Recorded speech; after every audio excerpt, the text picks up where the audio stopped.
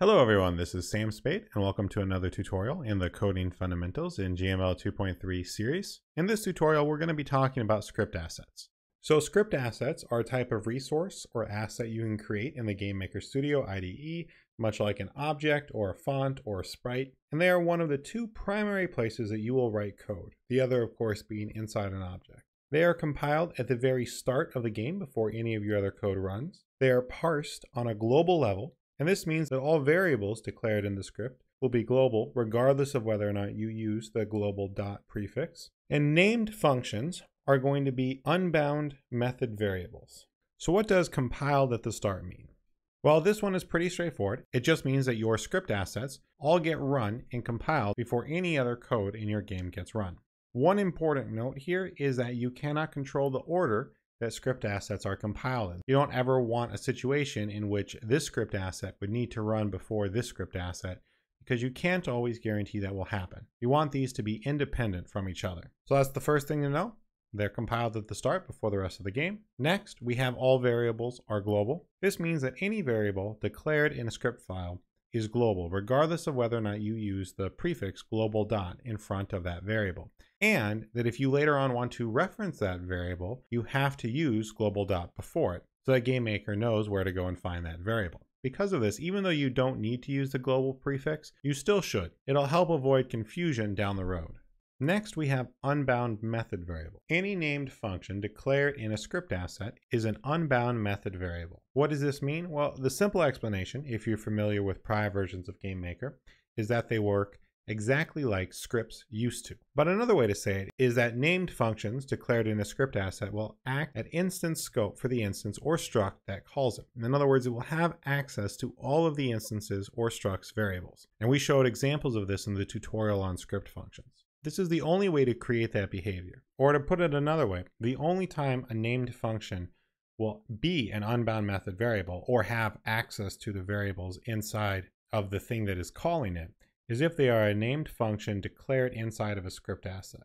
So what are the primary uses of script assets? The first and most important one is script functions. Script functions used in script assets get you something that you can only get in that way. And that is as we just covered in the last slide, the ability for the function to run from inside of the instance that is calling it. Script assets are also great places to declare global variables, macros, or enums, though of course you can also declare all three of these things in other places. So you don't have to put all of your global variables inside of a script asset, and you don't have to put macros or enums inside of a script asset either, but they can be nice places to do that in many cases. But let's actually jump over to GameMaker Studio and explore this a little bit more. So here we go. I have the same script asset file that we've been using. So if I come over here, you can see that we have function basics and you can see this little symbol here, and that means that it's a script asset. We'll actually create one of these in just a moment. But we have function basics, that's right up here, our script asset, and we're going to demonstrate a couple different things. Number one, we're going to demonstrate how these variables are global. So note that over here, inside of the script asset, we're declaring them without using the global prefix. But if we want to use these variables over here, we have to put global dot in front of the variable name because all of these variables will be global in scope. So if we were to try to reference them as an instance variable inside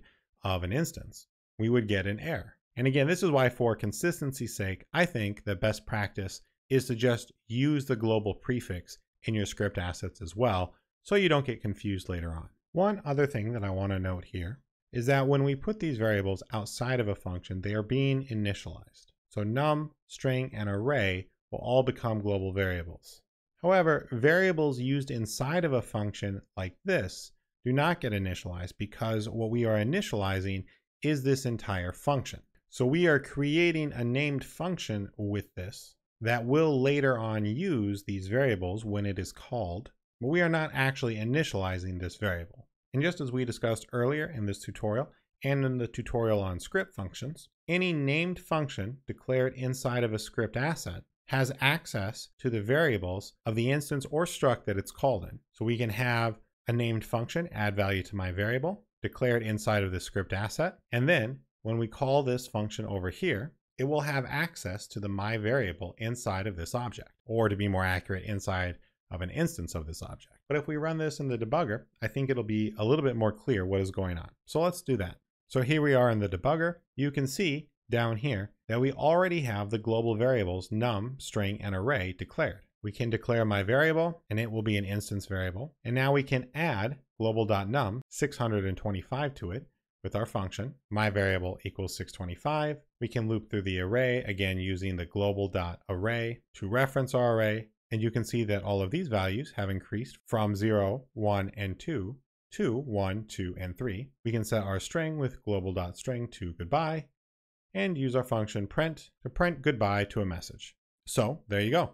I want to stress one more time that there is one thing that you can do with a script asset that you cannot do in any other way, and that is to have these unbound method variables, these named functions, which the manual refers to as script functions, and which have the very important quality of being able to access the variables of the instance or struct that they're running inside of.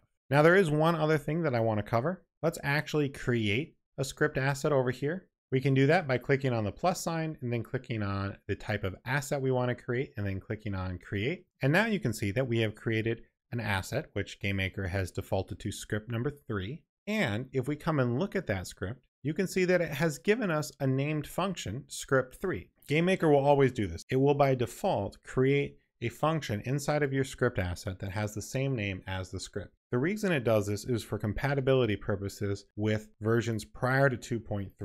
So while this exists for compatibility purposes, you should never do this intentionally. Whenever you are creating your own script assets, you should always get rid of this default function. And then if you want to write any of your own functions, you can write them. And you should never call a script asset either, unless you have a project that is from a version of GameMaker Studio prior to 2.3 that you converted over. Just to make this simple, whenever you create a script asset, get rid of the script function that shares the same name with the script asset, and always make sure that your script asset names are different from your script function names. So in summary, script assets are assets in GameMaker that are compiled at game start. All declared variables are global. Script functions are unbound. And you can use these script assets primarily for script functions, but they're also very helpful for declaring global variables, enums, and macros. The link in this side is below, as well as links to the slides themselves and the source code. And that's it. Thanks for watching.